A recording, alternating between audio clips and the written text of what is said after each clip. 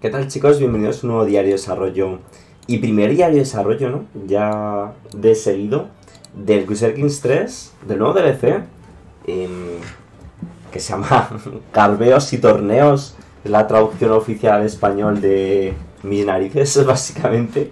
Es que Carveos y Torneos me hace muchísimo gracia, ¿no? Entonces, bueno, diario de desarrollo bastante tocho, eh, en realidad. En cuanto a eh, en qué consiste el DLC, ¿no? Si ya sabéis que el DLC consiste obviamente en estos tours, en estos giros, en estas vueltas, en estos garbeos, pues nos explicar un poquito cómo funcionan. La verdad que está chulo. Ya sabéis que, como di mi opinión hace bastante poco, el, en general el DLC no es algo que temáticamente a mí me ilusione muchísimo. Pero la verdad que, eh, se nota que le han metido trabajo y que dentro de la idea del DLC pues se lo están currando, ¿no?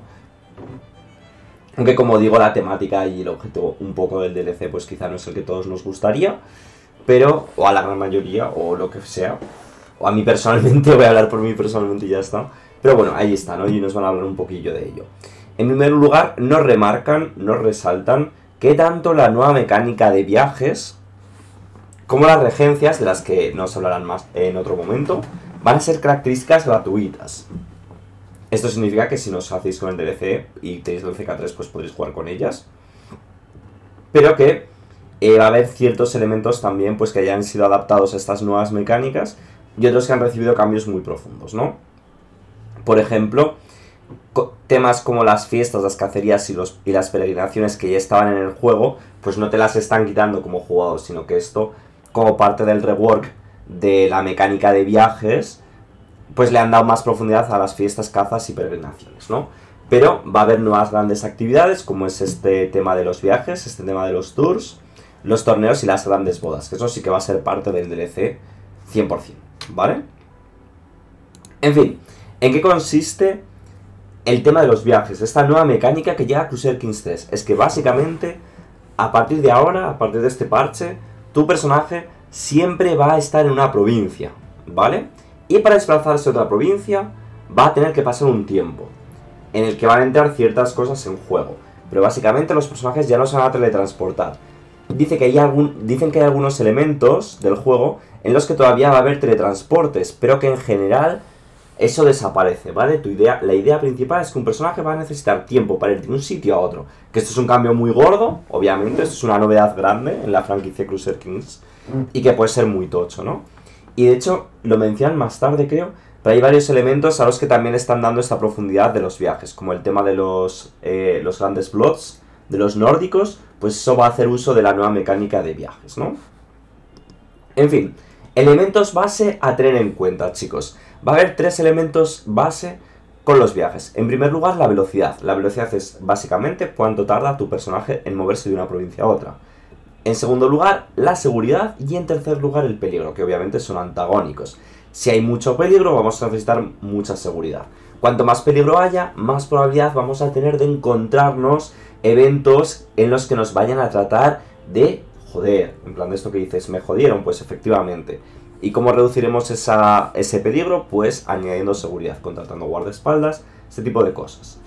Bueno, nuevos eventos, va a haber nuevos eventos, por ejemplo, nos podemos encontrar a un ermita viviendo en la espesura salvaje. Aquí vemos, por cierto, de fondo aquella cueva mítica que vimos a nivel de teaser hace bastante tiempo ya, hace unas cuantas semanas.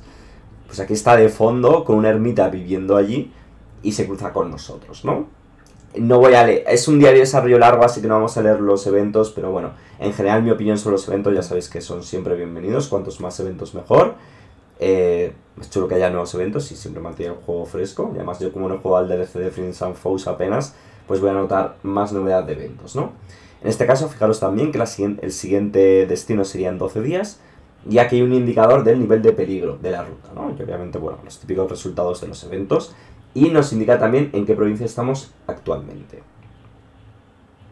En segundo lugar, por ejemplo, nos podemos encontrar a alguien de una cultura distinta que habla tu eh, lengua nativa. Pues aquí vemos algo que me ha gustado mucho también, que es ver cómo hilan elementos que han introducido en DLCs anteriores con nuevo contenido, ¿no? En este caso, pues el tema de las lenguas que se introdujo eh, con el parche de Royal Court, ¿no? Eso es súper bienvenido. Estos son ejemplos de eventos, ¿vale?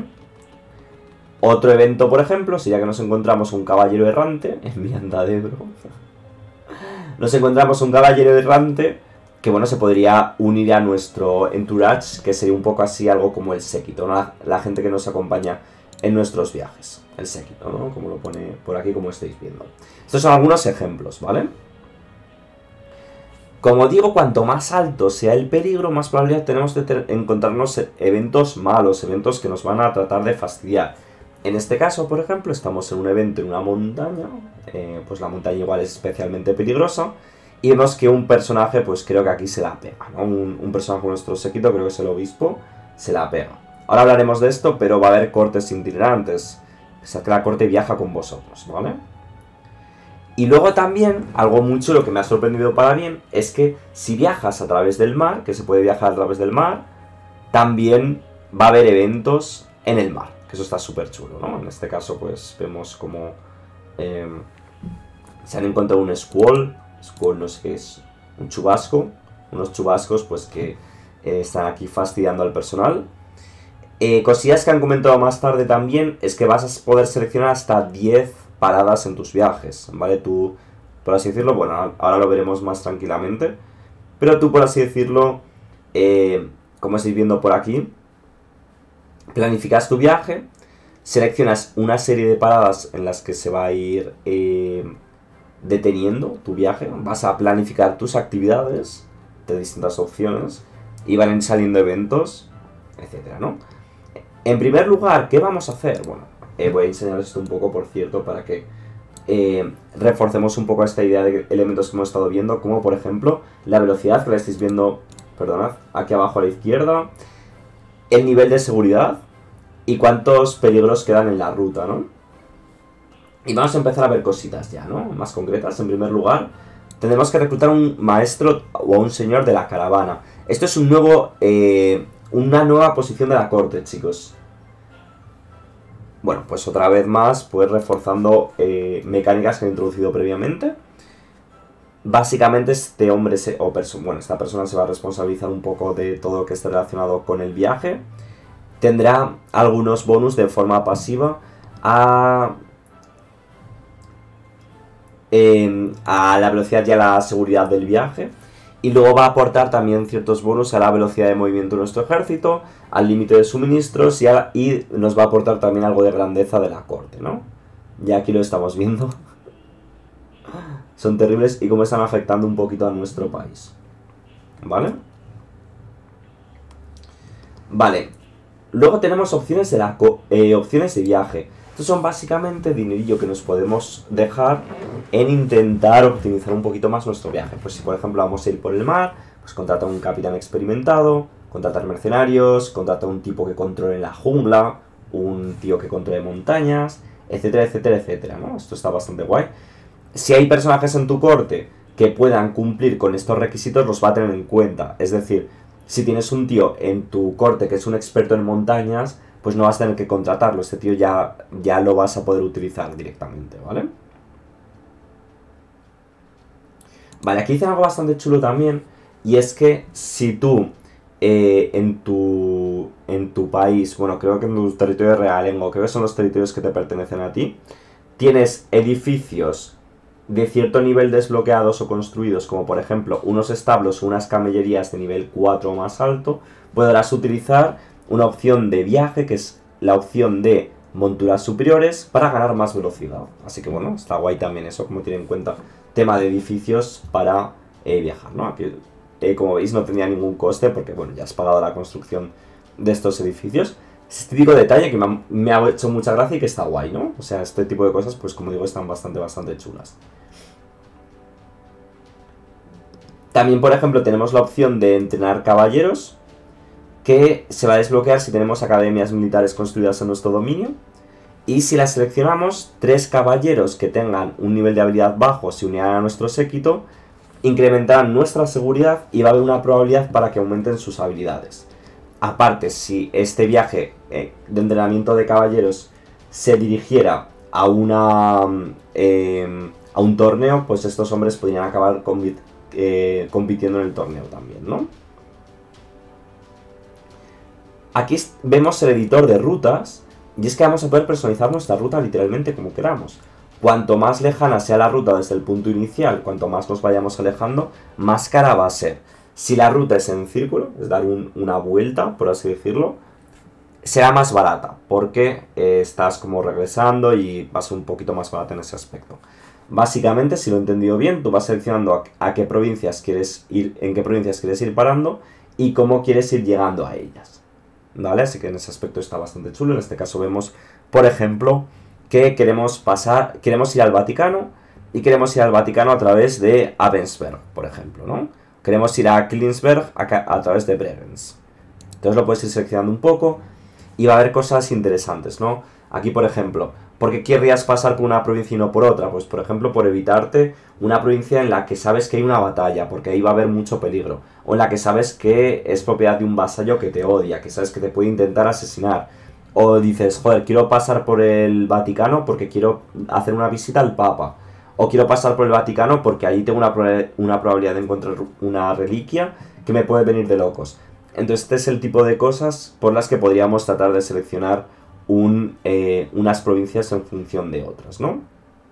Vale, aquí dice por ejemplo eso, que hay ciertos elementos que han actualizado de forma retroactiva con este sistema de viaje. Por ejemplo, el Gran Blood, el Gran Ritual o el de conocer, ¿cómo se llama esto en español, tío? El Mid Pierce, creo que es el evento este de que varios niños se juntan y se conocen y tal. Que esto se llamaba eh, no, me acuerdo cómo está traducido al español esto, pero bueno, los que juguéis al CK3 sabéis a qué evento me refiero, ¿vale? Luego, tema de complots. Los complots, entre los complots solo se van a llevar a cabo cuando los dos personajes implicados, es decir, el que lo propone y el que es el objetivo, estén quietos, ¿vale? Si un personaje de repente empieza a viajar, el complot se va a parar en el tiempo hasta que ambos eh, personajes estén parados. Que creo que eso es interesante tenerlo también en cuenta. Vale, aquí nos presentan uno de los nuevos eh, elementos eh, clave ¿no? del DLC, que son los tours. Vale, hemos hablado de los viajes, pero vamos a hablar de un tipo de viaje que podemos realizar en concreto. Que van a ser los tours, estos giros, estos garbeos, ¿no? Estas vueltas. Este arte es, es temporal, ¿vale? Va a haber si no me equivoco, tres tipos de tour.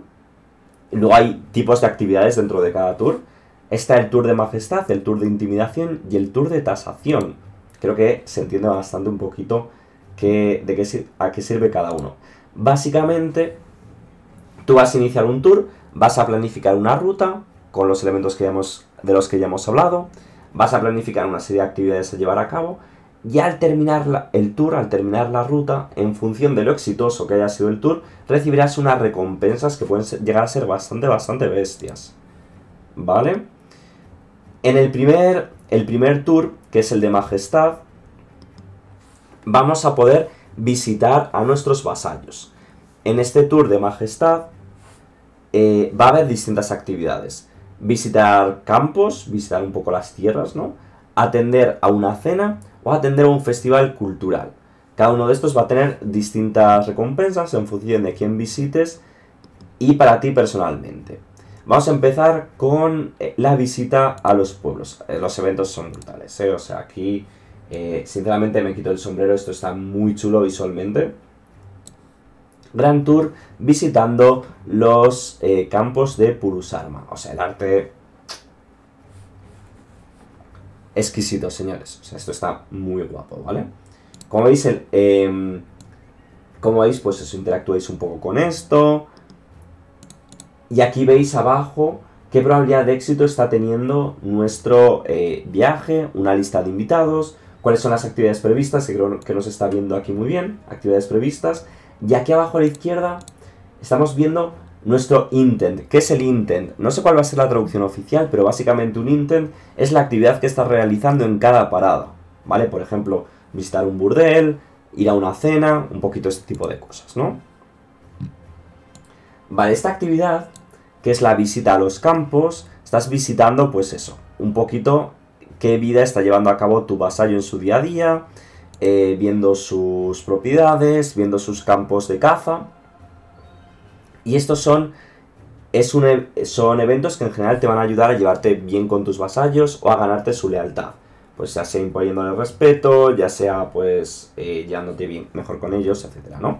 En general este es un tour, el tour de visitar los, los campos, the grounds, touring the grounds, eh, a ver cómo está traduciendo esto, el recorrido de terrenos, vamos a llamarlo recorrido de terrenos, es un tour en el que básicamente vas a tratar de ganar control de tus vasallos, vas a tratar de ganar lealtad de los mismos, ¿no? Vas a tener oportunidades para conseguir prestigio y renombre, eh, por ejemplo, mostrando tus habilidades de caza a tus vasallos, ¿no? Vale, aquí tenemos otra actividad, que es en este caso la cena, ¿no? La cena es... Joder, es que el arte de fondo también está chulísimo, tío. La cena, pues, es como un evento más íntimo en el cual, pues, vas a tratar de ganar opinión y algo de prestigio, pues, en privado con algunos pocos personajes. Es como una fiesta, pero en pequeñito, ¿vale? Para que os hagáis una idea. Y aquí vemos, pues, algunas de las situaciones posibles. Otra opción es el festival cultural. Esto es sobre todo útil en aquellos reinos en los que haya mucha variedad cultural, porque puedes conseguir aceptación cultural a través de estos eventos, ¿no? Que te puede venir bastante, bastante bien con algunos países en concreto, ¿no?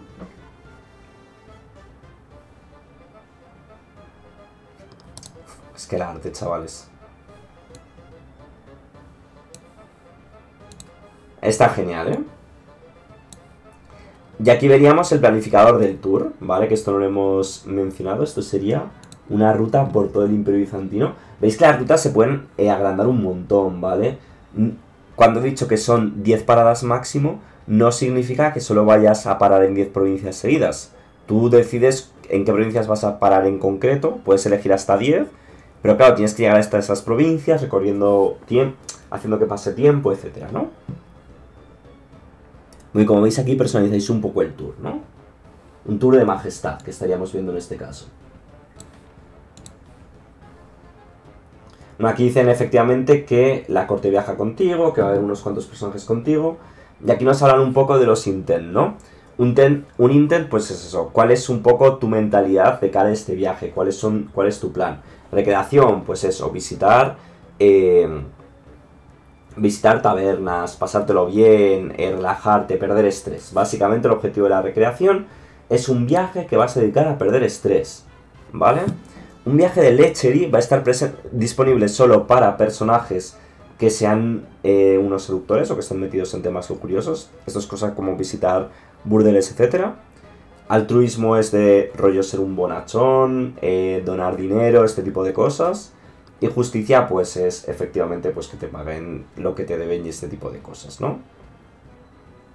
Altruismo dice eso, caridad y el toque real, la creencia de que los reyes tienen poder para curar a los enfermos con solo su.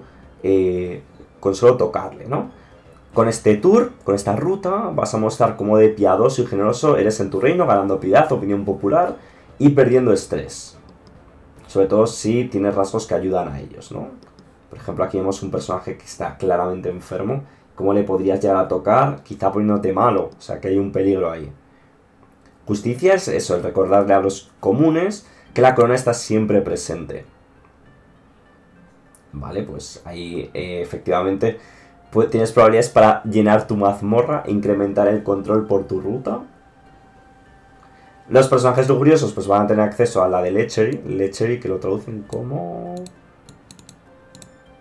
Lascivia, la ruta lascivia, la violeta entre, entre las hierbas, uy, Será la charla, la mítica charla junto al río de, de Crusader Kings 2 habrá vuelto.